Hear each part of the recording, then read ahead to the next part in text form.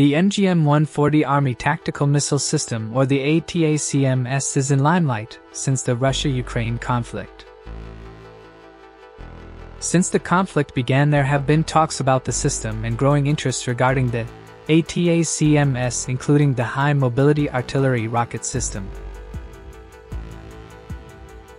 Manufactured by Lockheed Martin, ATACMS is a tactical ballistic missile with capability of striking targets at a range of 300 kilometers or 190 miles. The 13 feet long missile has a solid propellant. The tactical missile has a WDU-18, 500 pounds class blast fragmentation warhead. Due to its long range the guided missile gives its operators the luxury of striking deep within enemy territory with high precision. ATACM being a short-range ballistic missile, it becomes difficult for the air defense systems to engage them since the missile can reach very high speeds during their terminal phase of flight. Due to its higher speed in the terminal phase the missile is able to penetrate deep into hardened targets.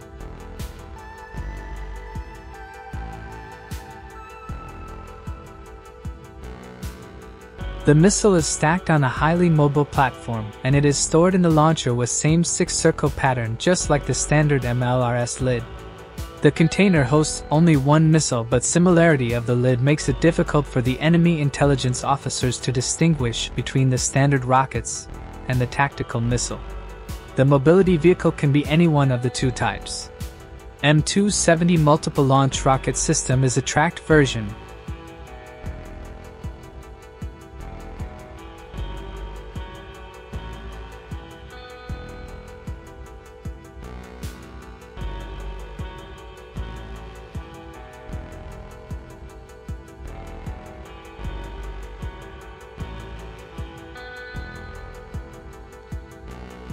while M142 High Mobility Artillery Rocket System is the wheeled version.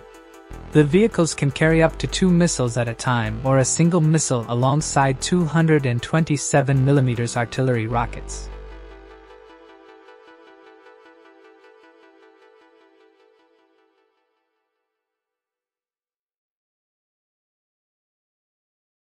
There are different variants of the missile.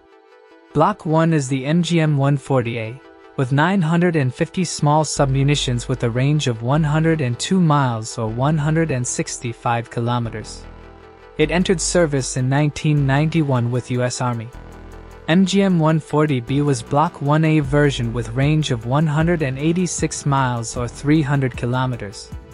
A new GPS-assisted inertial navigation system was introduced in this version.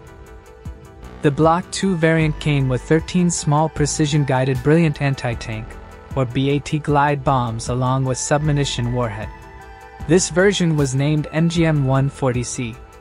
The next variant came with improved BAT submunition called the Block 2A.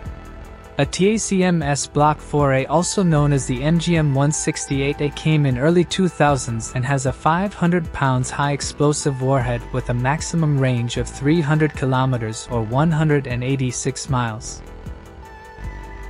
The HIMARS launcher can be easily transported using the Hercules C-130 cargo aircraft.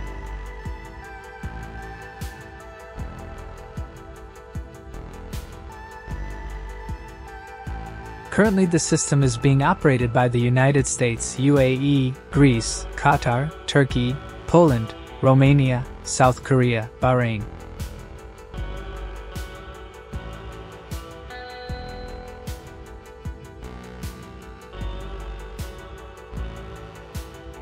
Recently for the first time AATACMS was fired in Australia. Australia is going to operate these systems in the future, and since it already operates C-130, it will be a step up in their military strength. Recently the ATACMS have been in limelight due to the request from Ukrainian officials and its supporters. US has already supplied Ukraine with HIMARS and MLRS launchers. But the tactical ballistic missile is not included in the package, and so far only 227mm artillery rockets have been supplied. If Ukraine receives these missile systems it would be helpful in targeting hardened command posts and supply depots.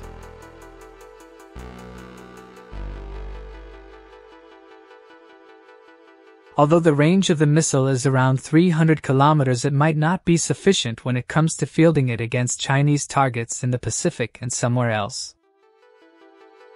The limited range of missile would mean that the US would find it difficult to deploy these systems within the reach of Chinese targets.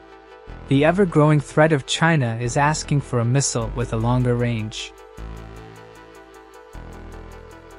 The United States Army will replace ATACMS with the new Precision Strike Missile with range of 500 kilometers or 403 miles derivative of these missiles with range of 1,000 kilometers is also planned to be inducted. The advanced missile systems will be able to attack moving naval targets as well.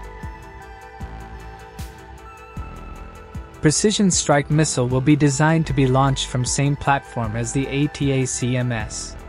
Hence the newly developed weapons can be used by existing customers of ATACMS as well as future operators like Australia. For the US and the Allies, it will provide long-range strike capabilities in the Pacific region. The US Marines and Army will be using these missiles, alongside variants of Tomahawk cruise missiles, Naval Strike Missile and upcoming hypersonic weapons for ground-based long-range strike capability.